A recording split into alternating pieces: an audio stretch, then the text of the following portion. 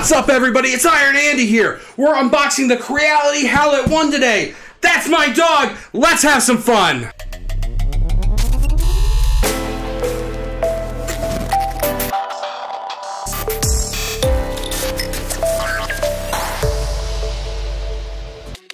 The Creality Halot 1 resin printer is a high performance 3D printer for a new generation. With an available print size of 127 millimeters by 80 millimeters by 160 millimeters, this printer is enough to get you started on your new addiction. This printer is very different from my other Creality printer. That is a filament printer, whereas this is a resin printer. What does that mean? Well, that means that it uses resin instead of filament string to print. It gets you cleaner prints with lots more detail. So let's go ahead and open it. Remember, knife safety.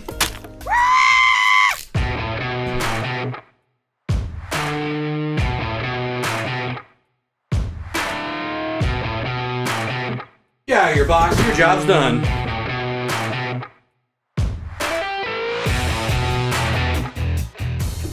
So the one thing I like that Creality did with this is they had angles put on the top of this, and the reason why they did this is because when the resin starts to pool up on the top as it's coming up, it's going to use gravity to pool off that resin back into the reservoir so nothing gets wasted.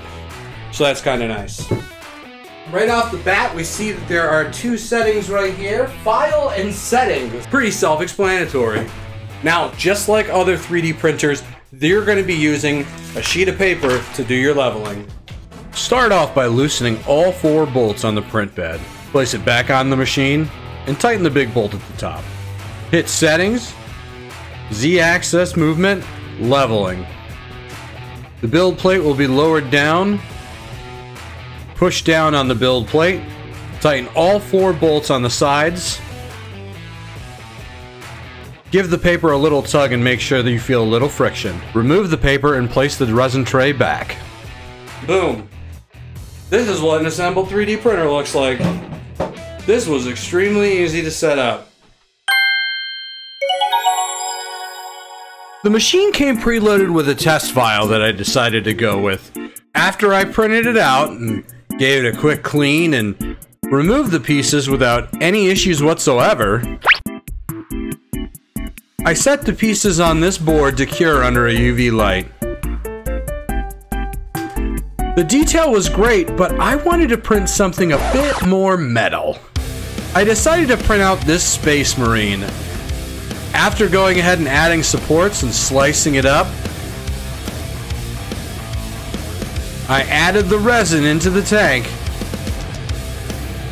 I loaded the Space Marine onto the printer accidentally named it the previous file I opened.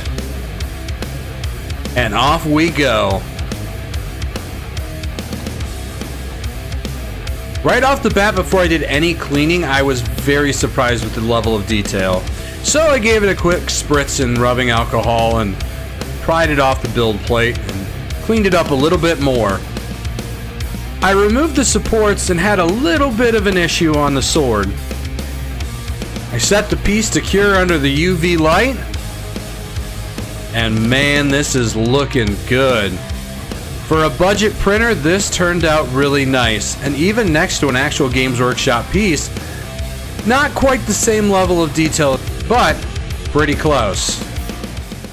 I love this printer. Fantastic, good quality, easy to set up, easy to use. I think what Creality has done here by upgrading a couple things from their previous models, such as the carbon filtration system, have made this printer a must have for anyone that wants to get into 3D printing. Retail value right now, $250. Not a bad price if you want to take a little bit more of the just a just a gentle leap. Yes, you can get 3D printers for as cheap as $180 or sometimes less. But as far as this goes, resin printer, not bad, works great. The quality, the proof is in the pudding, people. It looks fantastic. The smell of this machine, not bad. The carbon filtration system inside, pairing it with a resin that emits less of a stench. Really, really helpful for doing stuff indoors. You do want to make sure that you are wearing a mask when printing. When you're taking the part out, you want to make sure it's in a well ventilated area. But for the most part, Creality has done a great job with this printer. I love it. It's a good printer. It's really good. And if I can use it, somebody who has very little 3D printing experience, you can too. I hope you guys enjoyed this video. Do you want to see more 3D printing videos on my channel? Please let me know in the comments down below. And make sure if you're new here to subscribe and click that bell notification. Let you know when I'm posting new videos.